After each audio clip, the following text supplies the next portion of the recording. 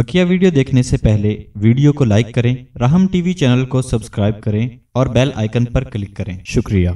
आज हम बात करेंगे असमाय हुसना में से बीसवें नंबर पर। यानी अल्लाह के नाम को मिलाकर ये बीसवां नंबर बनता है और वह अल अलीमु अलीम का माना सब कुछ जानने वाला। यानी वो ज़ात जो सब कुछ जानती है उसको अलीम कहते हैं। और अल्लाह की ज़ात अलीम है।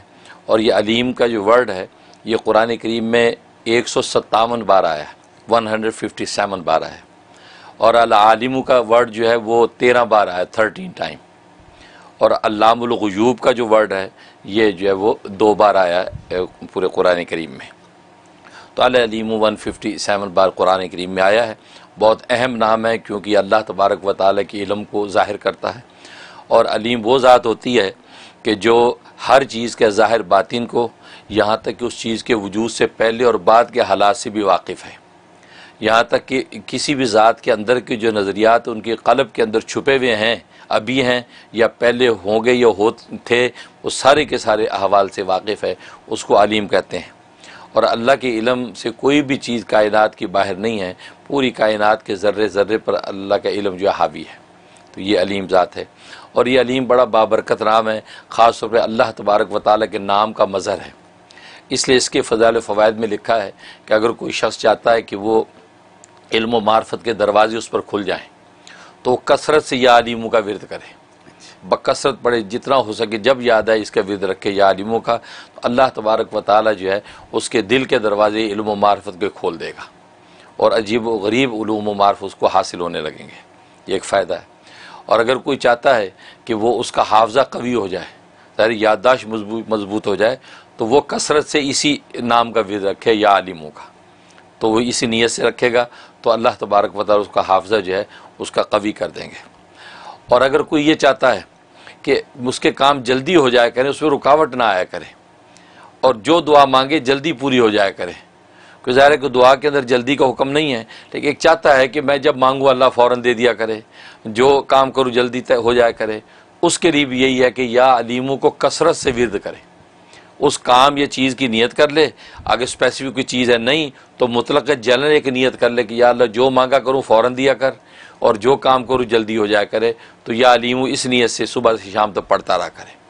तो ये इसके फ़वाद और एक फ़ायदा इसका यह है कि अगर चाहता है कि ये साहब यकीन बन जाए, इसका यकीन और इनकियाद इतना कवी हो जाए कि दुनिया की मादी चीज़ें सामने आ भी जाएँ तो उसकी नफ़ी करके उस यकीन पर कायम रहे। क्योंकि ज़ाहिर है कि ना नज़र आने वाला तस्वुर उस पर कायम रहना आसान नहीं है, जबकि सामने मादी वजूद हो। तो उस वक़्त ये यकीन मुतजल हो जाते हैं। तो साहब यकीन अगर बनना चाहता है तो या अलीम जो है फरमाया कि हर नमाज़ के बाद एक सौ एक दफ़ा पढ़ के अपने सीने पर फूंक लिया करे और दुआ कर लिया करे। मैं ये कहा करता हूँ, आज की नई नस्लों के अंदर इसका बहुत अहतमाम करवाएँ वालदेन। बच्चों से कहा कि बेटा, या अलीमू जो है, हर नमाज़ के बाद एक सौ एक दफ़ा पढ़ के सीने पे फूंक लिया करो। उससे क्या होगा, ये ईमान यकीन इनकी इतने कवी होगा कि दुनिया के मादी जो है वो नज़रियात से ठुकराएँ, जो वो ठोकर नहीं खाएँगे और ये मज़बूत रहेंगे। और एक फ़ायदा ये कि अगर ये चाहता है कि मैं साहिब कशफ हो जाऊँ, कशफ की आँख खुल जाए और मुझे जो है कोई ना कोई चीज़ों का एहसास होने लगे, पता लगने लगे अल्लाह की तरफ़ से तो हर नमाज़ के बाद एक सौ एक दफ़ा, या आलिमगैब का विरद करे, या आलिमगैब एक सौ एक दफ़ा पढ़ के अपने सीने पे फूंक दिया करे तो अल्लाह तबारक व ताली उसको जब ये नाम अपना इजलाल कर लेगा और इसके हक़ ज़ाहिर होने लगेंगे, क्योंकि इसके अदद जो है, या लीमू के जो है, अदद एक सौ पचास है, वन फिफ्टी। और इसका मुफरद अदद बनता है छः, सिक्स बनता है। लिहाजा जो है, ये जब शुरू करेगा, हर छः दिन के बाद, समझो कि लताफ़ गैबिया ज़ाहिर होंगे। है? हो सके छः दिन के बाद ही हो जाए। कसाफत दूर होगी तो फ़ौर लताफ़त आ गई। अगर पहले से लताफ़त है तो छः दिन में हो जाएगा। वरना जो है अठारह दिन में, बारहवें दिन में इस तरीके से छः के हिसाब से इस पर जो वो इजलाल करेगा ये नाम और उसके फ़वाद ज़ाहिर होने लगेंगे। तो साहब कशफ अगर बनना चाहता है तो यह आलिमगैब का विर जो एक सौ एक दफ़ा करके सीने पर फूँक लिया करें। और एक इसका फ़ायदा है कि अगर इस्तारा करना चाहता है कि मुझे पता चले एक चीज़ के बारे में, कि काम के बारे में क्या करूँ, और आज हर बंदा चाहता है इस्तारा करूँ। तो अगर मर्द है तो कोशिश करे कि मस्जिद के अंदर ये अमल करे। उसका तरीक़ा यह है कि ये सोने से पहले जो है, ये, या अलीमू या अलीमू का जो विरद है, ये, या अलीमू का विरद ये 150 दफ़ा करे। 150 दफ़ा विद करके अपने सीने पे फूंक मारे और अल्लाह से दुआ करके सो जाए मस्जिद में ही। तो अल्लाह तबारक व ताली उसको ज़ाहिर कर देंगे। और ये शब जुमा में करना है। जुम्मे की रात।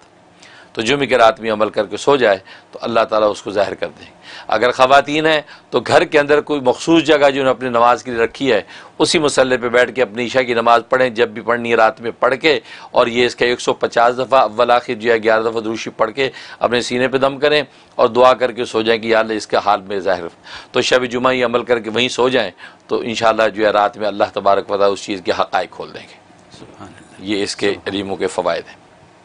और जहाँ तक जो ख्वाब में ताबीर का ताल्लुक़ है तो लिखा है कि जिसको या अली मुझे ख्वाब में उससे सुना या पढ़ा या देखा, इसका मतलब अल्लाह तबारक व ताली इसको इल्म ख़ास अता फरमाएँगे।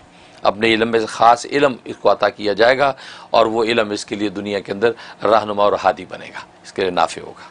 बहुत खूब।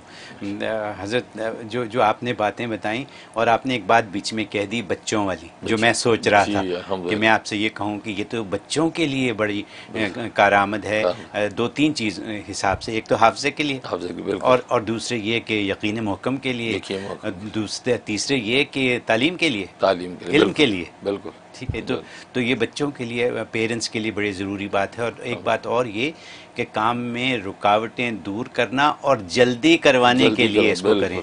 तो हर वालदेन को अपने बच्चों की शादियों की नौकरियों की और अच्छाइयों की ज़रूरत है। बिल्कुल। और दुआएँ करते हैं माँ बाप बहुत ज़्यादा। आपके पास कितनी हाँ, कॉलें आती हैं यही पूछने के लिए। सही बात तो अगर इस बात को वो अपना लें और ये करना शुरू कर दें तो उनके मसाइल हल होने शुरू हो जाएँगे। हाँ, बिल्कुल सही बात। तो, तो और फिर ये कि अल्लाह से कुर्बत के लिए इसका इस्तेमाल करें। कितनी आसान आसान सी बातें हैं। छः छः दिन में हाँ। इसके असरात ज़ाहिर होने शुरू हो जाएँगे। बहुत बहुत बहुत कारामद बात है और इसको मुझे यकीन है कि लोग इस्तेमाल करेंगे और फ़ायदा उठाएँगे। जिनको फ़ायदा हो इससे वो ज़रूर हमें कॉल करके मुफ्ती साहब को बताएँ कि उनकी इन बातों से उनको क्या फ़ायदा हो रहा है।